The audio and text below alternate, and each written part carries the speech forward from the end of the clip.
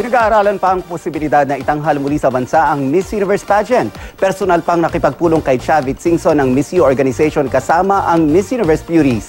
Narito ang aking star bite. before, so you stayed long in Vietnam. Matapos lang ang limang buwan, muling bumisita ang ilang Miss Universe candidates sa Pilipinas. Dumalo sila sa charity event sa Tondo, Maynila. Present sina Miss Spain Noelia Freire, Jamie Lee Faulkner ng Great Britain, Miss Indonesia Kisha Waro, Kiran Jasal ng Malaysia, Camila Baraza ng Kosovo, Rebecca Rath ng Belize, at Dang Thi Lehang ng Vietnam.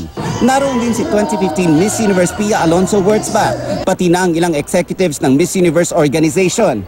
Ang 65th Miss U Beauties sumabak pa sa Pardor Games kasama ang mga batang beneficiary ng charity.